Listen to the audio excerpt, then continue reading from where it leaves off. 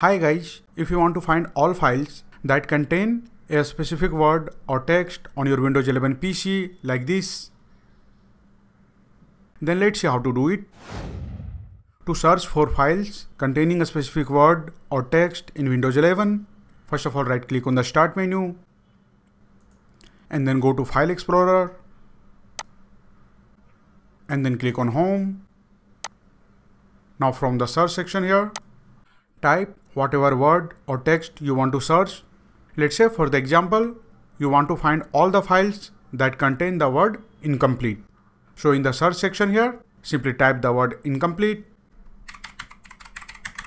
And after typing the word, you will see the search options. Simply click on it. And then here, you will see the option file contents. You have to simply select it.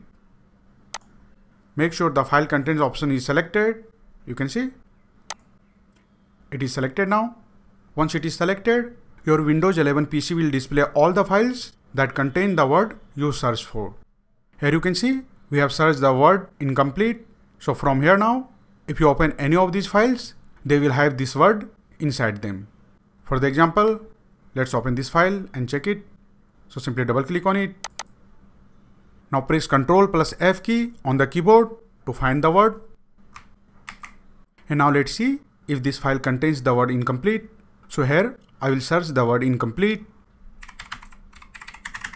And here you can see this file contains the word incomplete. Let's check another file. Now let's open this file and check. So simply double click on it. Press Ctrl plus F key on the keyboard. And now let's search the word incomplete. And you can see this file contains the word incomplete. So that's it guys. This is how you can easily find all files that contain a specific word or text on your Windows 11 PC. If you like this video, please subscribe the channel.